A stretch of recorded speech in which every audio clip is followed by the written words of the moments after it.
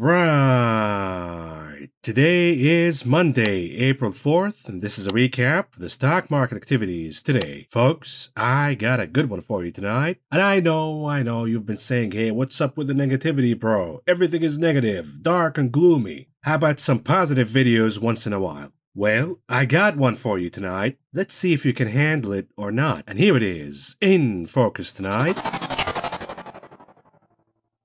Down with the oligarchy, a major victory for organized labor in this country. Let's start by this. We got the non-farm payrolls on Friday, and in it, we continue to see wage inflation moving higher and higher and higher. And the proponents for inflation, aka the propagandists, for this administration in the media and otherwise, they continue to say, oh, but inflation is okay the Fed doesn't need to end the party by tightening the monetary policy. Because look at wage gains, for example. Workers in this country are enjoying massive wage gains. Leisure and hospitality, retail, education, business, manufacturing, construction. Wages are up across the board. Matter of fact, it's such a hot economy, you got the opportunity to switch jobs and increase your wages higher. Job switchers are enjoying 6.6% increase in their wages. Job stayers are enjoying 5.4% increase in wages. Here's the problem. Net net, when you factor in inflation, real wage gains in America are actually negative. We're down about 3 points. When you factor in the latest reading of inflation and the latest reading of wage gains in this country, we're down about 3%. Our purchasing power is down. Our standard of living is down because inflation continues to move higher all around us. Rents,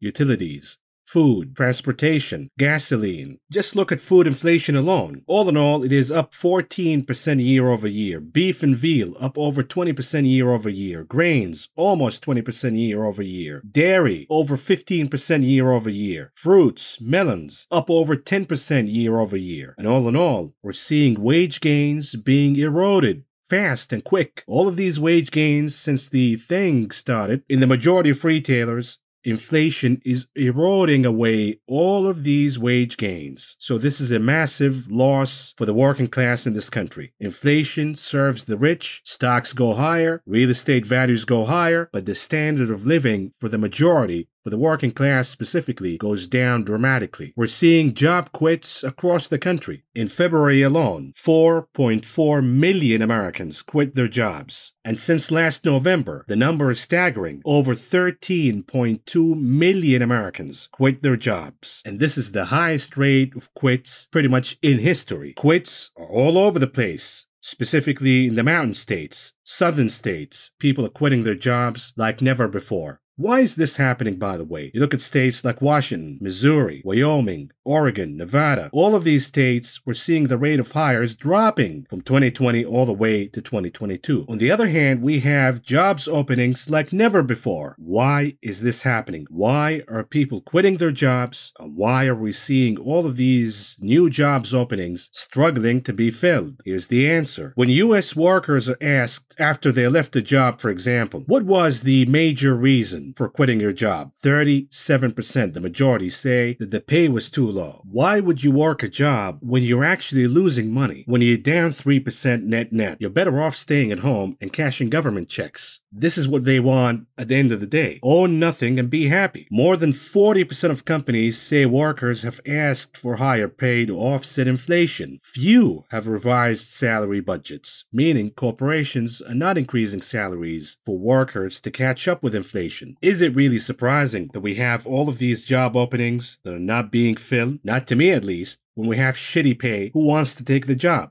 Listen to this, for example. Just 24% of workers think their employer cares about their well being. Your employer buying an arcade game or giving you a ping pong table and a stupid coffee machine and breaks here and there, that doesn't do shit with the quality of working in that particular company. So take your stupid ping pong table and shove it up your ass because workers care more about the pay and having a flexible schedule where they can work from home a few days a week, etc., etc. None of this is being met by employers. They don't give a shit at all because at the end of the day, it is corporate slavery. You work when you're told, how you're told, and keep your mouth shut. How could we not see a backlash by the working class in this country? when you have corporate profits reaching record highs, the fattest profit margins since 1950. But I know the poor corporations, if we tax them a little more or ask them to pay us a little more, God forbid that might hurt the bottom line for these companies and they stop hiring and they fire us anyways. This is the brainwashing that they've been teaching you all along since you were a baby that you gotta handle corporations with white gloves and be as gentle as you can. Otherwise, they might not hire workers. People might lose their jobs. This is the blackmail that corporate propaganda has been playing in this economy for a long time, and it's part of the mass brainwashing of the public that it is anti capitalist to ask these companies to pay a fair wage, a wage that keeps up with inflation. If you ask for that, you're a communist,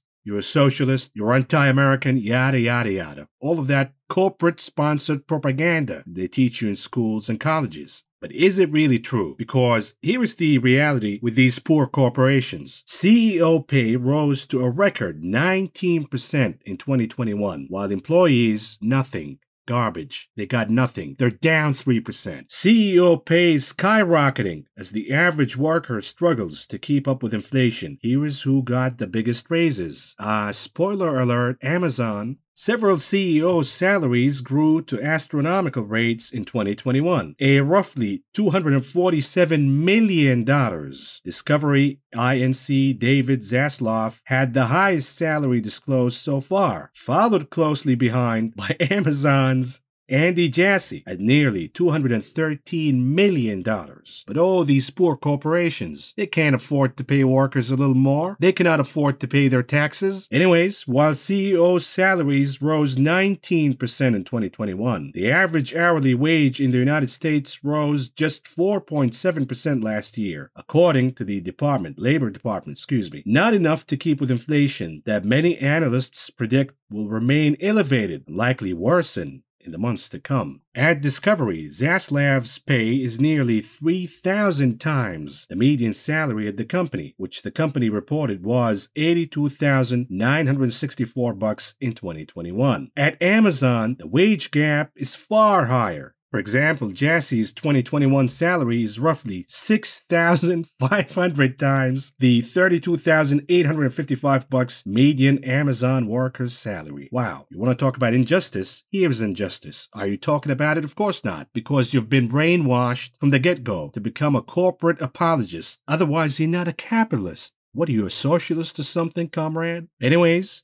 here comes the hero to rebalance this injustice. His name is Christian Smalls. He was a warehouse worker at Amazon, I believe in New York, and he got fired from his job because he complained about safety conditions at the warehouse. He also disclosed a lot of virus cases within that warehouse. And for doing whistleblowing, Amazon punished him by firing him and accusing him of trespassing and not following social distancing guidelines. Here's a brief interview with Christian Smalls in the Jimmy Dore program.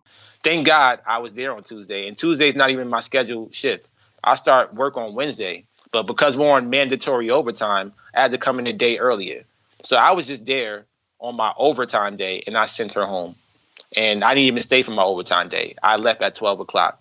But thank God I was there. You know, they're putting it out there as if I put people's lives at risk. No, the company put people's lives at risk. I was trying to save lives. I sent her home immediately, um, and I took my stance. I came back to, you know, uh, inform the employees what's really going on behind scenes. Um, every day, I marched a group of people into the general manager's office um, and to voice our concerns. We wanted the building closed and sanitized. Um, and they didn't do that. They they didn't do that. They didn't listen. You know, everything was oh we're on a we're on a call with the regionals. We're on a call with the regionals. Who the hell are these regionals? They're making the wrong decision. Like this is your building. You're the site leader. You're the general manager. Do something about it. And they nothing was done. So I had to take action. Um, it forced me to mobilize the the walkout, and that's exactly what I did. So and they retaliated by firing you for for for getting people to walk out. Absolutely, less than two hours. So you um, so you sit in the cafeteria Wednesday, Thursday, Friday, Saturday. When do you organize the walkout? Man, I don't know why this is happening. You know, a week ago, my life was different. But uh, you know, I don't know how it came together. I really don't. I still don't know what's going on here. But mm-hmm.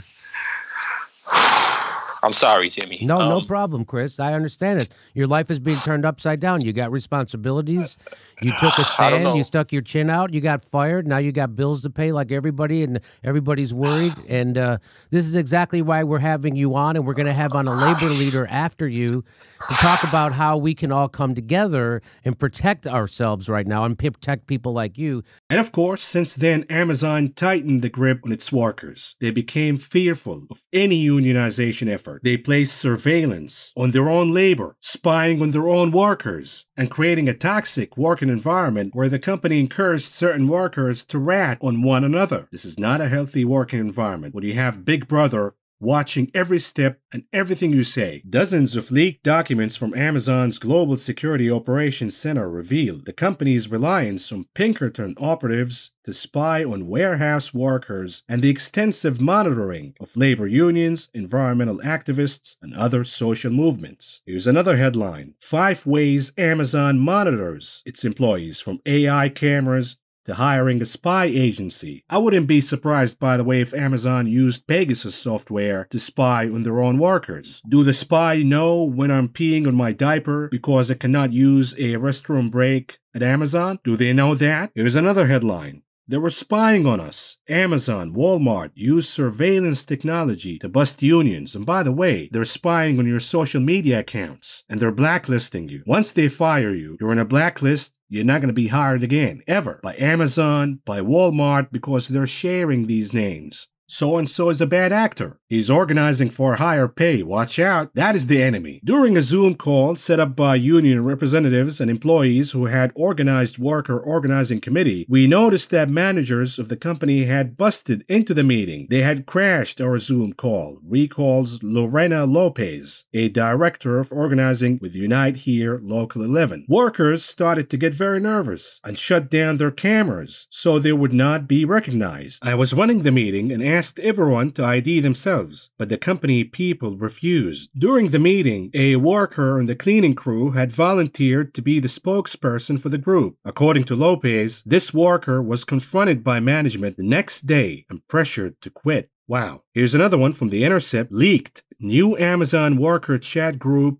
or chat app to ban words like union, restrooms, pay raise, and plantation. Also grievance, slave labor, this is dumb, living wage, diversity, and uh, the V thing that we cannot even say here, and others. Is this America, by the way, or is this North Korea, where we have slave labor, work when you're told, how you're told, and you get paid whatever we pay you? Shut up and be happy and do your job, by the way. Or we're gonna make sure that you have no other alternative besides working as slave labor. We're gonna have goons, we're gonna have surveillance and spies and AI to rat you out if you try to organize and ask for a better pay. What is this? Even Kim Jong un is looking at this and saying, I better learn something from Amazon. And by the way, this is the same company that destroyed small business in this country, unfairly, you have to say, and did not pay taxes at all. Amazon avoided more than $5 billion in corporate taxes, and they only pay 6%. That is the rate that they pay 6%. I pay over 50 I'm not even a billionaire. I just happen to be living in the state of California with the overtaxation and crime all over the place. This is what we get for paying 50% taxes. Crumbling infrastructure, crime all over the place, no services. You gotta wait months on the phone before somebody answers when you call any public utility company. Abuse of taxpayer money all over the place. They're spending over a hundred billion dollars to build the so-called Golden State train. They told us is going to cost thirty billion dollars. We're now racking up over a hundred billion dollars. They're spending over eight hundred thousand dollars to house a single homeless person. But anyways, that is California for you. Let's go back to Amazon and see how much they paid because in four years, since 2018, the company paid an effective tax rate of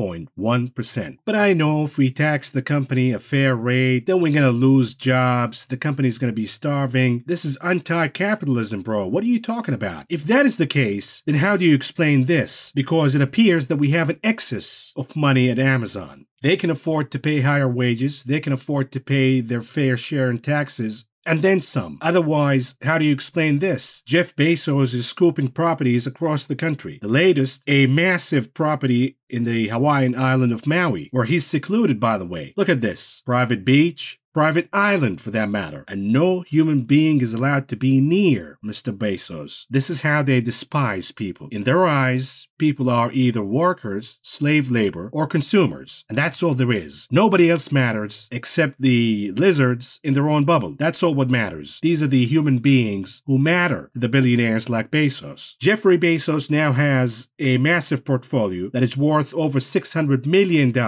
That includes 14 mansions. Meanwhile, the American dream is dead. If you want to buy a house, good luck. You want to rent, good luck. Rents are through the roof. And how did this company thrive? The answer is the root of all evil, the Federal Reserve. Think about it for a minute. Can you operate a small business and lose money year after year and still be in business? The answer is no way, absolutely not. But for some reason, Amazon, a public company, reported negative profits. They've been losing money for years, but somehow their stock continues to go higher every single day, at least was going higher. And as the stock was riding higher, Amazon can use that equity value by taking out loans and expand even more and underprice small businesses in this country. This is how they got to destroy small businesses, and they became Amazon, the monopoly. It's not because they're smart. This is what they teach you the garbage, the filth, the propaganda that they teach you in colleges. Oh, Amazon is just smart. That's how they got to destroy small businesses in this country. Bullshit. They got to do it because the Fed has been manipulating asset prices higher, has been printing money out of thin air for years, trillions and trillions and trillions of dollars, as so called accommodation, the stock market. So it didn't matter if Amazon was losing money. So long as they continue to expand and grow, money will land in Amazon stock. Every penny of pension funds, investment funds was chasing Amazon stock higher. And that was only enabled by the Fed's so called accommodative policy. Otherwise, we would have scrutinized the fact that Amazon is not a profitable company. Money would have chased actual profitable companies instead. But because of the Fed policy, Amazon became what it is, and now it is a profitable company after destroying all the competition. So the rise of Amazon was only possible due to the Fed stabbing the poor and the middle class of this country right in the back for years by manipulating asset prices higher. Asset prices that happen to be majority owned by the 1% and corporate America. But now the tables are turning, at least for the moment, and the working class scored a massive victory against Amazon, the evil empire, because for the first time in its 20 eight year history. Amazon will have a unionized facility here in the United States of America. How is that possible, by the way? This is a massive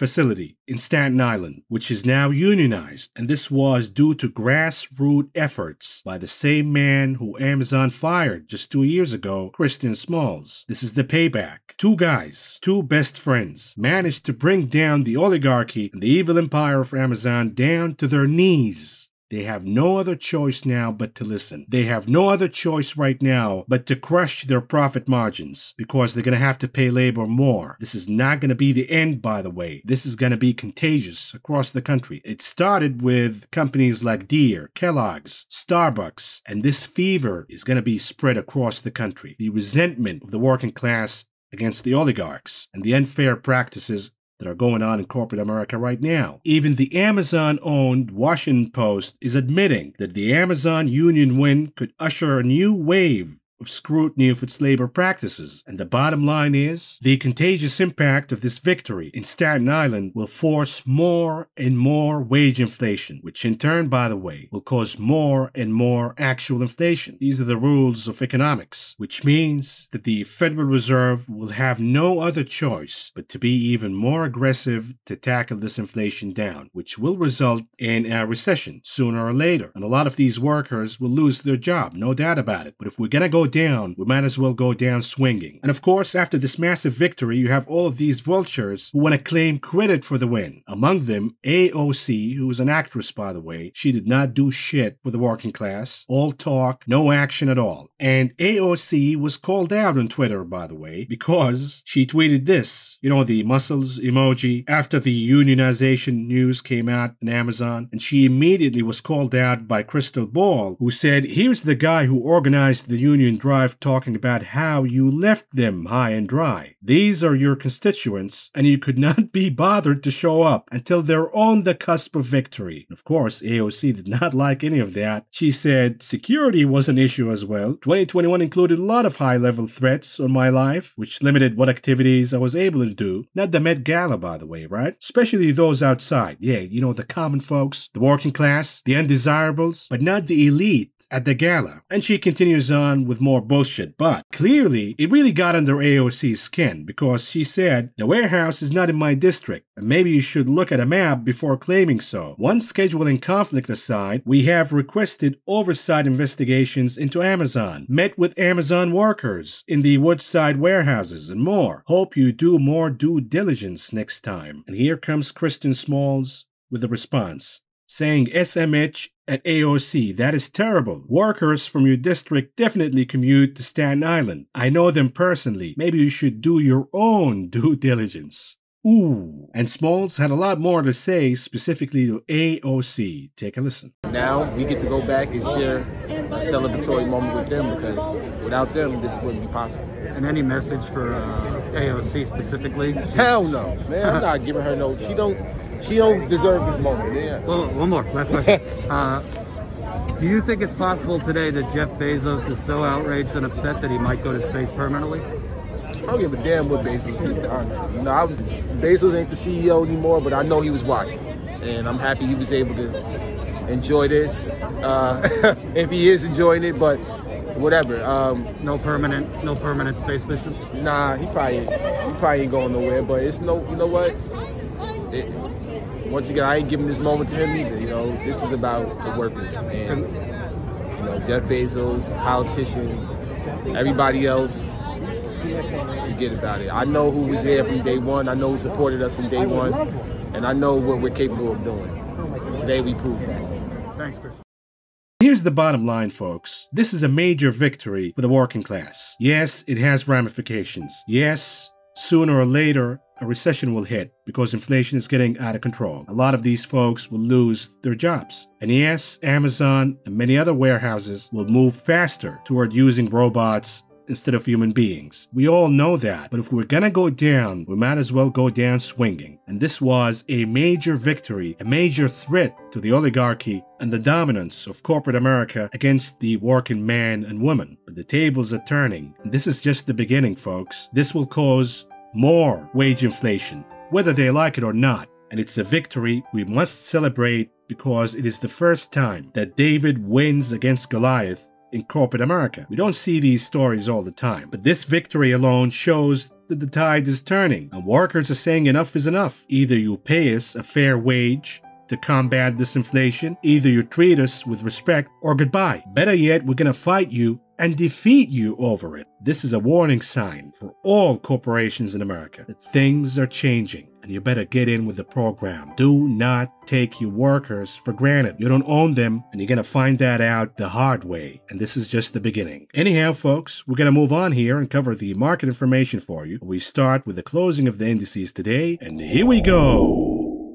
The Dow Industrial Average closing in the green by 103.61 points or a gain of 0.30%. And here is the leader of the day, the Nasdaq, closing in the green by 271.05 points or a gain of 1.90%. The S&P 500 also in the green by 36.78 points or a gain of 0.81%. And here are the sector's performances today, leading the pack at number one and capturing the gold medal, consumer cyclicals, and at number two for the silver, communication services, number three for the bronze, technology. And the laggards of the day led by utilities, REITs, and healthcare. So the winners last week are the losers today. Meanwhile, the losers of last week are the winners, at least today. These kind of rotational back and forth moves in the stock market are not a good sign, specifically heading into the earnings season. And boy, we're having a lot of traps being set here, one step at a time. We'll talk in the charts analysis. But here is the advance to decline ratios NYSE 50% advancing versus 46% declining. The NASDAQ 61% advancing versus 36% declining. And of course, we have more 52 week lows versus 52 week highs in the NASDAQ. So the rally once again courtesy of the big caps Apple, Amazon, Tesla, Nvidia, Google, Facebook, Microsoft,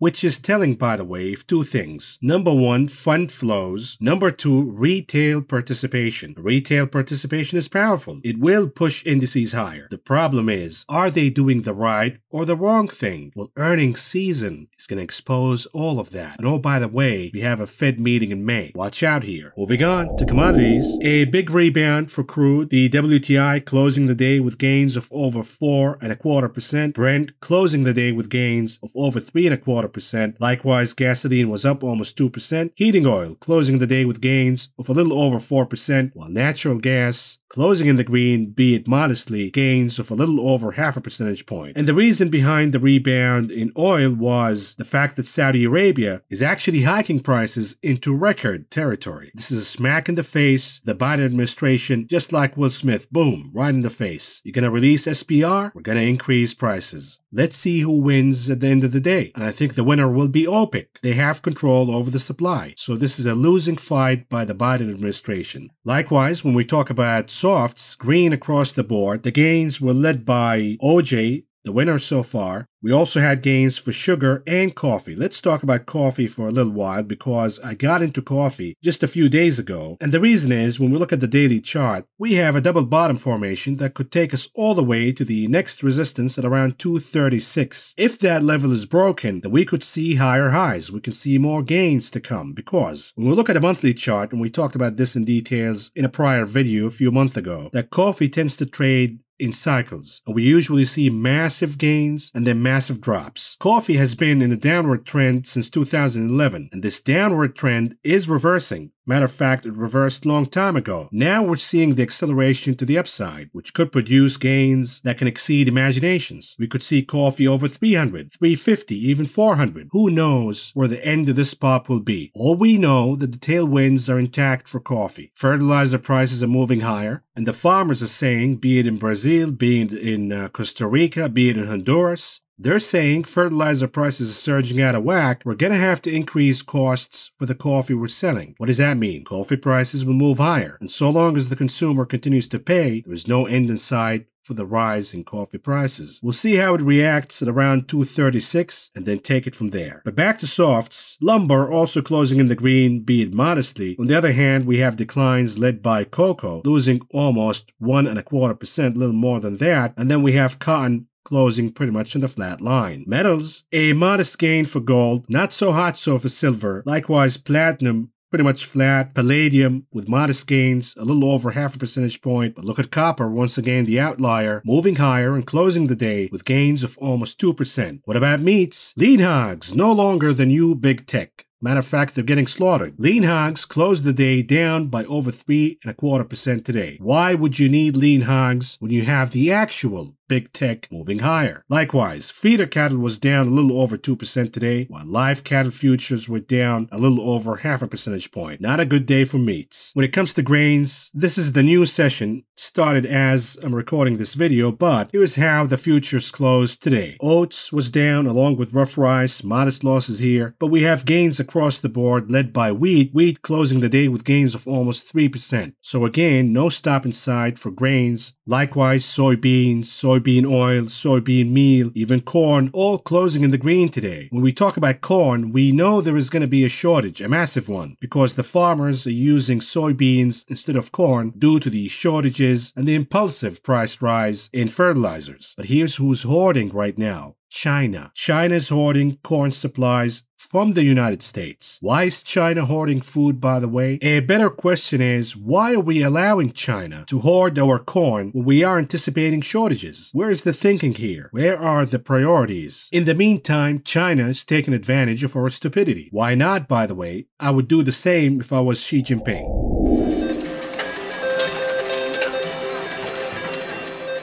Anyways, moving on to options, the big casino, the hottest table by far was Apple. At around 1 million contracts, about 61% of those were calls. And at number one, the hottest table in my opinion because it might have not won the volume for today, but the majority of the action was at the Twitter table, which by the way traded around 1 million contracts today, about 71% of those were calls. At number three, Tesla, the souffle at around 750,000 contracts traded for the name today, about 61.5% of those were calls. When we talk about Twitter, by the way, we saw an attempt of a gamma squeeze today. The gains are absolutely insane. Look, for example, at the 50 bucks calls for the expiration date of this Friday. It gained over 10,000% today alone. Now, of course, we have traders who chase the move after the fact and they traded in and out of the 50 bucks calls, the 55 calls, the 60 calls. They were just choosing whatever gains left in the move because unless you bought Twitter calls on Friday, you did not score 10,000% gains. You might have scored 20, 30, 80% in a day trading in and out of the 50 bucks calls, but that's about it. That tells me, by the way, that the move in Twitter will fall apart, not erasing all of the gains entirely, but maybe in the next few days we will see a pullback in Twitter. The question remains, are we peaking in the squeeze higher? That depends on the implied volatility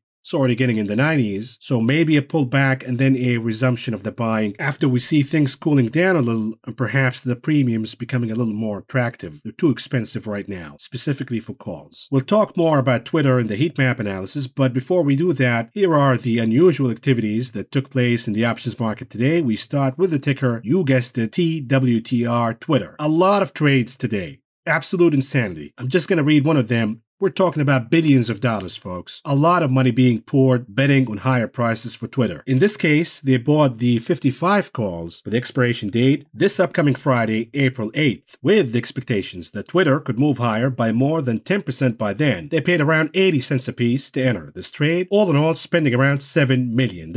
What about the ticker FSR, Fisker Motors? A loser for the year, but a recent gainer in this uh, rebound rally, with a lot of stupidity, by the way. But again, lot of names to be fair, were way oversold, so they managed to rebound higher. Somebody is calling a top for this rebound, specifically in these speculative names, including Fisker, because they bought puts, the 12 and a half puts, with expiration date June 17th, with the expectations that Fisker FSR will drop down by more than 14% by then. They paid around one buck and 45 cents apiece to enter this trade, all in all spending around two and a half million dollars. And here it is. Apes, are you paying attention or not? Because somebody buying puts on AMC, in this case the 22 puts for the expiration date May 20th, with expectations that the name could drop down by more than half, five and a half percent, excuse me, by then, and they paid around three bucks and 75 cents a piece to enter this trade, all in all spending around $3.3 million.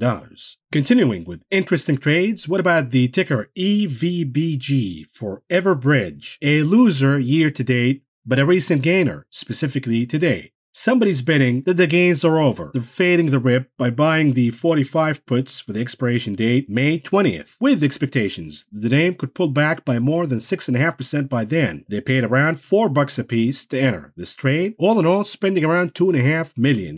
What about the ticker BRCC? This is for Black Rifle Coffee, a good company, but a lousy stock it became sort of a meme stock and it pumped significantly higher today. Now, I did follow this trade and I bought puts on BRCC. Not because I don't like the company, but when you give me that kind of stupidity on silver plate, just like the apes did with the AMC, I gotta buy puts. I gotta eat steak and lobster. This is the beauty of this stupidity. And so far, these puts are scoring at least after hours. In this case, they bought the 25 puts with the expiration date this Friday, April 8th, with expectations. The name could pull back by more than 12% by then. They paid around 1 buck and 75 cents a piece to enter this trade, all in all spending around 1 million dollars. What about the ticker MRO? This is for Marathon Petroleum. They're buying calls here, perhaps the revival of the energy trade. It took a break in the last few weeks as technology started to rebound, technology and growth. But are we about to go back to the inflationary trade of energy and materials as we get closer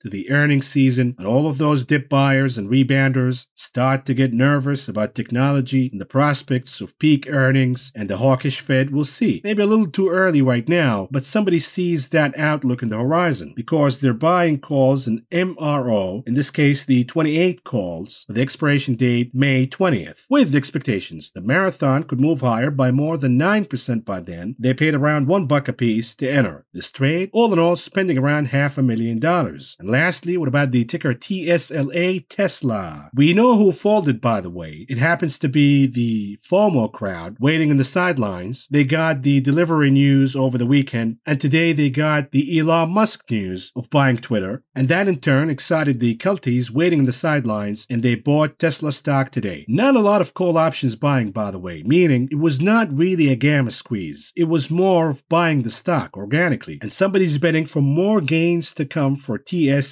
by buying calls this time around. Not a long term one, but they're betting on another squeeze higher. In this case, they bought the 1,230 calls with the expiration date this upcoming Friday, April 8th, with expectations that Tesla could add another 7% or so gains before Friday. They paid around 6 bucks a piece to enter this trade, all in all spending around $3 million. Moving on to the heat map analysis, all in all muted we're seeing more losses in financials, healthcare, industrials, defensives. The winners last week, REITs and utilities, also suffering today, but the majority of the action was in the north western side of the map, which happens to be the retail crowd favorite side of the map. We're talking about technology, the big caps. We're talking about software, chips, the Chinese names, the social media names, Snapchat, Twitter specifically. Twitter was up over 20% today. Why? Because we got the news that Elon Musk took a 9.2% stake in Twitter. Obviously, he did the poll a few days ago. Do you think Twitter is violating the First Amendment and whatever censorship? And the majority said yes. We know that Twitter is censoring voices out there. We know censorship is rampant, not just in Twitter, but also YouTube and Facebook. But here's my problem with Elon Musk. Reverend Elon Musk, by the way. Just for the culties, you know, they might take that as a sign of disrespect. Anyways, I don't buy it. I don't think Elon Musk is the hero. He's just buying Twitter to save us from censorship. Don't get me wrong, the man is a master manipulator. And this is for certain a win in the public's eye because he's seen as a savior, as a guy who's using his wealth to counter the censorship, yada, yada, yada. But at the end of the day, if Elon Musk really wanted to combat censorship and the big tech oligarchy, he could have just started a new social media platform like Twitter, like Facebook, like YouTube, and went head to head against the big tech oligarchs. But he did not do any of that. That tells me that this is all about his ego, his fragile ego. The SEC enforced an agreement and he sees it as gagging his voice on Twitter, and he's now saying, you know what, look at me.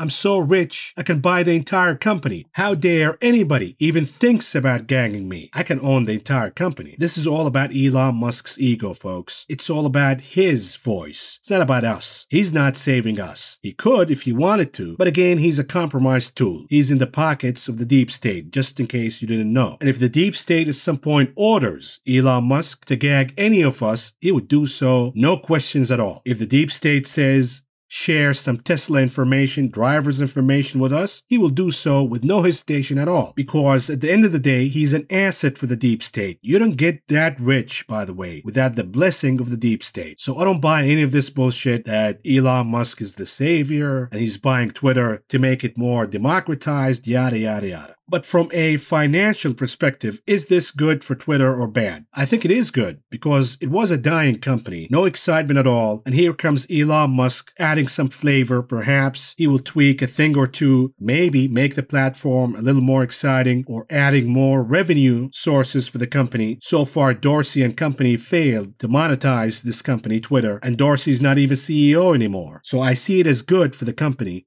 Do you buy the stock now I say wait for a pullback. Let's assess the fundamentals. When the next earnings report comes out, there's going to be another dip. And if the report comes out promising we hear more about Musk's plans to monetize Twitter, there is going to be plenty of meat in the bone to chew on at that point. But rushing right now, not my kind of move. Anyhow, moving on to the heat map for the ETFs. The notable mover, in my opinion, is the XBI, the biotech ETF. Impressive move so far, by the way In a month, the XBI is up almost 15%. The bad news is, year to date, the XBI is down 15%. And we're seeing this story, by the way, in chips, in technology, all the recent rebounders, all what they're doing right now is folks waiting on the sidelines, be it retail or institutionals alike, saying, you know what, the sell off was a little too steep for technology, for biotech, for chips, for software, and now we're heading into earnings season. At least, let's play a rebound until we get to Judgment Day, which is earnings season, and then hop off the ship again and lighten up. Because earnings season is not going to be that pleasant, by the way. It's going to be hunting season for the recent rebounders. We'll talk more in the charts analysis, but today we saw chips moving higher, XLK technology also moving higher, the cyclicals, the XLY, XRT also moving higher, the reopening names were moving higher, but also the weighting of Tesla is really important to the XLY. But besides that, energy was muted, XOP, XLE, OIH not doing anything at all, materials were flat, staples were flat, no excitement at all, unless you were in biotech, XBI. When it comes to growth versus value, so far the ad outperformance of growth continues to go on versus value. But year to date, value is still outperforming growth. This earnings season will be extremely important, either to reaffirm the fact that growth is deserving of the outperformance, the recent outperformance that is, or earnings season will expose the recent rebound and the weakness in growth, and we will see a migration back into value. When it comes to commodities, gold moved higher, the GLD, not the GDX, gold miners were actually down today. Uranium was down, the oil ETFs were flattish, but TAN, the ticker TAN for solar,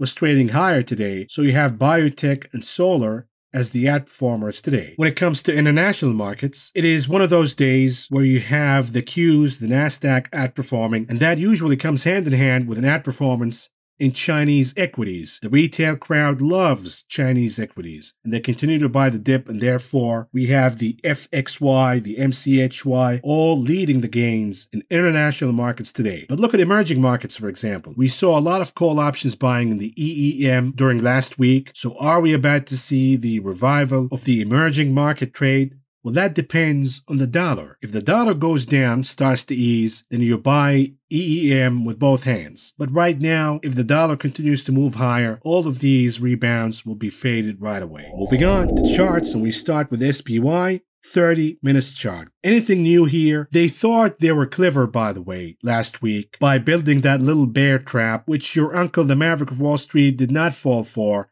and warned you not to fall for. Because if you're gonna fool us, by the way, make it a little believable. For example, had they closed the week, for example, below 450 on Friday, I would have said, okay, this is a shorting signal, perhaps all the way down to let's say 443. But they did not do that, and hence it was too obvious that they're building a bear trap. And by the way, they're also building bull traps. You don't realize it yet because the equities market is going higher, but you realize that as we get closer to earnings season, and you certainly going to know that after earnings season, the disaster of the upcoming earnings season, which could be the nail in the coffin of this bull market. In my opinion, the higher they go, the more delicious the shorting opportunities will be. It's going to turn from earnings season to hunting season. But for now, did the action that we got in the SPY change anything at all? Not really. The formation remains bullish, and the reason is the chart did not lose the most important key numbers support. And I warned the bears over and over and over again. You don't have the green light to start shorting right now until some of the key support lines start to get broken. So far,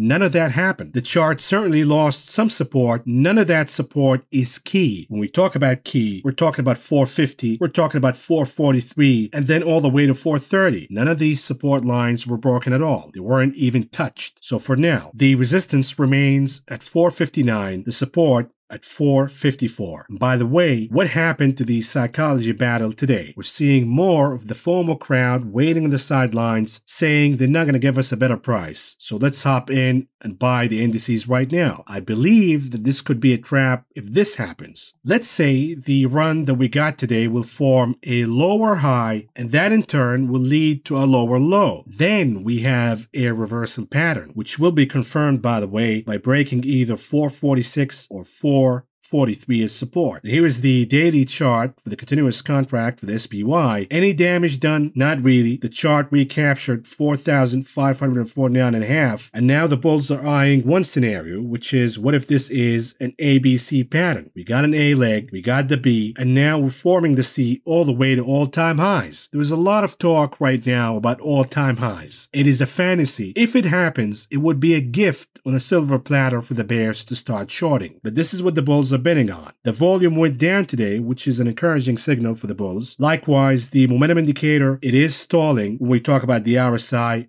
and also the MACD indicator, both are stalling. They're going to start to curve their way down. And the bears are betting that either we're going to see a lower high, which will take us down to lose 4,549 and a half, and then eventually losing 4,472 as support. The bears are also betting on the double top scenario. What if this run takes us all the way back to the previous top and then we pull back again? We see losses all the way down to 4,384 and a half. You're not going to know that until we get back all the way to the previous top. So the bears must wait before they start shorting. The bulls need to start thinking about booking profits because being seduced by this move ahead of earnings is a risky proposition. On top of that, you have two scenarios now, a lower high and a double top that could work against you. We see the last batch of bulls being trapped. What about the SPX, the cash index? We have a rebound, still maintaining a range above the 200 days moving average, which is bullish by the way. You're not going to start to get bearish in this chart until the 200 days moving average is broken once again from support back into resistance. But the chart did not make it above 4,590, and I believe that this number will be sticky for the SPX to pass above once again. Will we have a rejection from 4,590? This is what I'm waiting for. That would form the lower high, we'll be waiting for the lower low. That would be a reversal pattern, and then the ultimate confirmation will be closing below the 200 days moving average. Moving on to the Qs, an hourly chart for the NASDAQ. Anything new that happened today? Nothing really, because it would have been a legitimate bear trap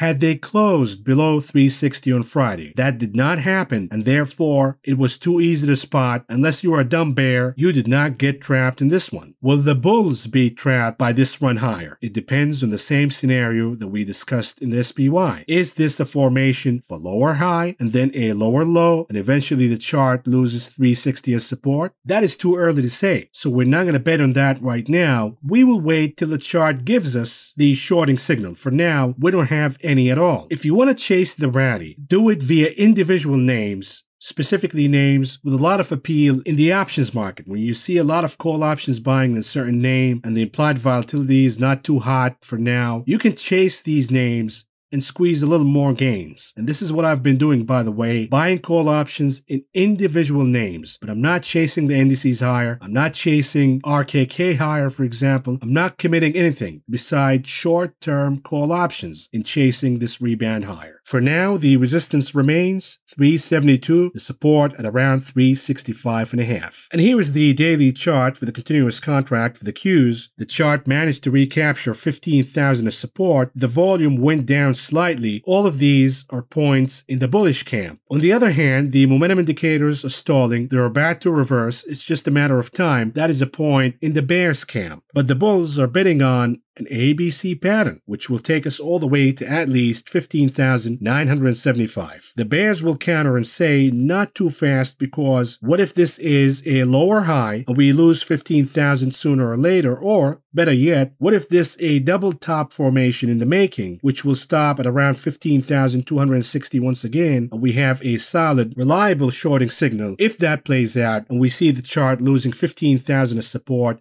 after a double top formation. That would be a solid reversal signal. But we're not there yet. So the Bulls remain in charge. The Bears have to wait for more signals. Here is the IWM, the Russell 2000 30 minutes chart. It doesn't look as good as the SPY and the Qs. Yes, it was a positive day, but the IWM failed to make it above 208. The good news is it keeps 204 and a half is support. But the problem is, what if this is a bear flag formation? And sooner or later, we will see the IWM down at 204 and a half once again. The problem for the bears, even if that happens, you're not going to short unless we have a daily closing below 204.5. And I would even argue below 203 to have a confirmation. What about the dollar index? Dixie continues to move higher. This is a bullish consolidation, not a bearish one, because you have the momentum indicators in negative divergence. In regular charting behavior, we see flush downs when that happens, as the chart starts to lose momentum. But if the loss in momentum is just resulting in consolidation, is this bullish or bearish behavior? In my opinion, it is bullish because even with the negative momentum, no damage is being done for the chart. It is not moving down. It is holding ground. This is a chart that wants to pop higher, and it has all the tailwinds to continue to move higher. And of course, gold is not liking any of that because if the dollar moves higher, it's going to be really difficult for gold to initiate a rally. So gold is waiting and waiting and waiting at the same support of around 1,925, waiting for either the Dixie to pull back or for the 10 year yield to pull back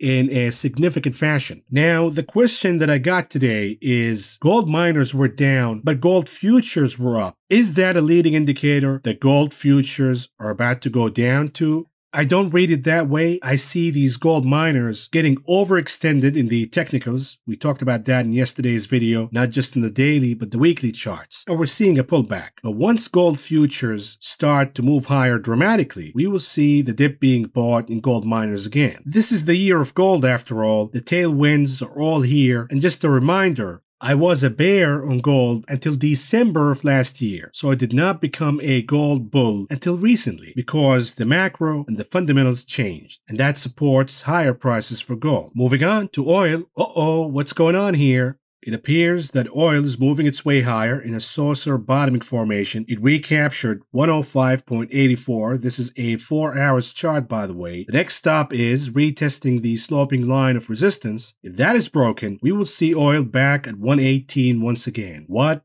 a massive defeat for the Biden administration and the stupid and the ill-timed release of the SPR. Here's the daily chart for the 10-year yield. Is this all there is in the pullback of the 10-year yield? I don't believe so. I might end up being wrong, but what if this is a bear flag formation? And sooner or later, the 10-year yield will break below 2.34 and perhaps pull back all the way down to 2.2, if not 2% equal. If that is the case, then the TLT is going higher. Here's a weekly chart for the TLT. So far, not so hot so, at least today, but the week is still young. If we have a pullback in the 10 year yield breaking the stiff support at around 2.34, then we will see the TLT blasting higher, all the way to 134.5, and then we'll take it from there. What about the VIX? 4 hours chart, the VIX could not make it above 20 yet again. This is a massive victory for the Bulls, crushing the VIX perhaps all the way down to 15. Look at the MACD indicator. It is losing the positive momentum as if the VIX is giving up, saying, hey, you know what? No hedgers here. Nobody wants to hedge, so I'm going down. If it goes down, we have 15 as the last support. And folks,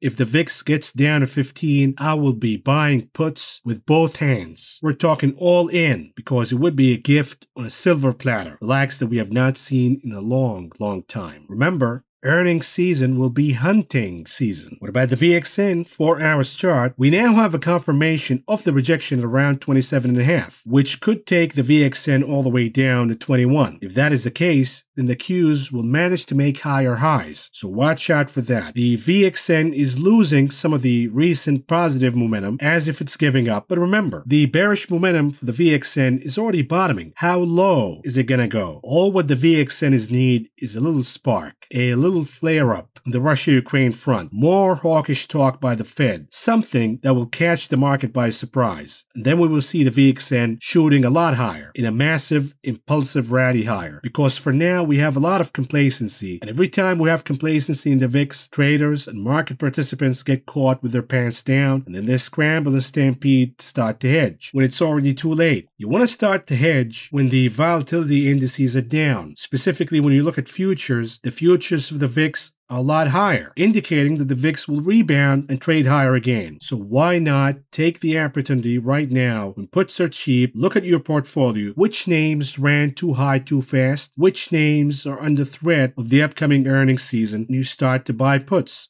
as a hedge, insurance, while it's still cheap. Moving on to Apple, this is a daily chart. Friday's candle was a rebound at around 172.4. Today we're getting the follow up of the rebound, not quite the previous highs yet, but close enough. This is yet another indicator that we're seeing a lot of institutionals, but also retail, buying these ETFs, the Qs, the XLK, that pushes Apple higher. Is there more juice to squeeze in Apple to move higher, perhaps all the way to 182.6, which is the 3 trillion mark? Yes, there is. And that could happen easily. But if it happens, it would be a decent signal to start shorting Apple because the odds say it's going to top there. Why? Because the momentum indicators are topping. There's not a lot of gas left in the tank of Apple. There is enough to get us to 182.6, maybe 183 or 185. But if we get there, you can bet that Apple ran out of gas and we will see a pullback. The higher it goes, the steeper the pullback. And here it is Tesla, an hourly chart. We know who folded. Obviously, the folks waiting on the sidelines, the FOMO crowd, who today decided that it is time to buy because they did not get a better opportunity for a few days after the split pump that took us all the way to 1,090 and a half. The FOMO crowd looked at that and said, you know what? Elon buying Twitter, the delivery numbers over the weekend, we will not get a better price than this. Let's hop in and buy Tesla right now. The problem is earnings are coming, and the higher it goes, the steeper the pullback when earnings finally hit. And therefore, for guys like me, I'm looking at all of this and I'm rubbing my hands. I'm making a list already. Which names I'm going to start to short heading into earnings because you're giving us a gift. We have peak earnings. Earnings this season are not going to be better than last year. You really think these stocks are going to trade at higher prices than last year based on solid fundamentals? Not going to happen. It's going to happen on stampedes, on gamma squeezes, on things that are unreliable and they can fade out quickly. Moving on, Bitcoin, what's going on here? We have to assume that the move right now is a bull flag consolidation because this is what the technicals say. Whether you agree or not on the fundamentals and the psychology, the technicals say this is a bull flag consolidation. Sooner or later, the chart will move higher. You're not going to become bearish on BTC and start shorting until 42,000 is broken as support. And what about AMC? AMC, it appears that the negative momentum is bottoming, which means we could see AMC moving higher. Now, we're seeing a lot of put options buying. I don't know where that comes from. Maybe Johnny come latelys who missed out on the real shorting opportunity when the stock was trading above 30. But for now, what we're seeing on the hourly perspective at least is a chart that already experienced a lot of selling and now it's holding ground. It is forming a bottom. If the buyers show up, this chart could move higher easily to above 26 once again. Am I buying calls? Not really. Not right now. I thought about it, but I'm seeing better opportunities in other names. So I'll leave that one alone. But for the apes who are listening, it appears, at least for now, that the negative momentum is bottoming, which is opening an opportunity for you to start buying the stock and buying calls and push it a little higher. But if you don't do that, then more sellers will arrive. You will see AMC moving down again, breaking a very important support at around 21. And that would be an ugly defeat for the apes. I wanted to cover more charts, but we're running out of time, unfortunately, so we're going to have to do that in tomorrow's video. But for now, moving on to the conclusion of this video. What do we have on the economic calendar tomorrow? We have the most important event is the Services PMI and the ISM Services Index. What is behind the importance of services? We talked about it before. If we have more inflation and more activities in the services sector of the economy, then we have healthy inflation, and the Fed has the cushion needed to start tightening aggressively. But if we see services also stagnating, or even getting into stagflation, where the pace of economic activities in services are moving down, on the other hand, prices are staying higher, that would be an alarming signal, folks. I will talk about that when we get the numbers. But we also have some Fed zombies speaking from San Francisco, Mary Daly, from New York, John Williams, but most importantly, the Vice Chair, Governor Braindead, is speaking on what? On inflation inequality. How dare you? You are the creator inflation inequality. This is like inviting Ted Bundy to speak on women's rights. Anyhow, folks, we gotta wrap it up here. This is all I got for you for now. Thank you for listening. Thank you for watching. I will talk to you again tomorrow.